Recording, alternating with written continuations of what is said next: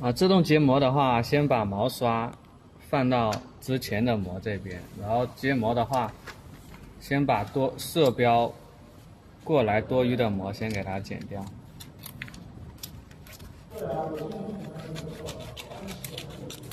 好，大概这样子，就是色标过一点，然后准备上面胶，量一下膜的长度。然后粘在色标的另一边，大概这个位置。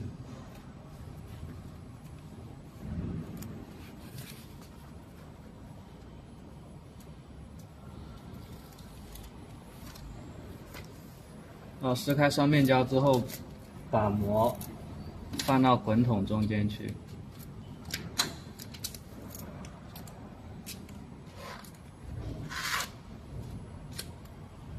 大概这样，然后色标是在滚筒的中间，两根滚筒的中间就可以了。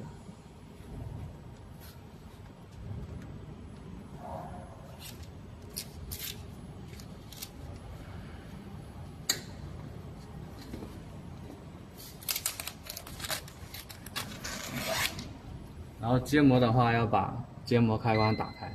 OK。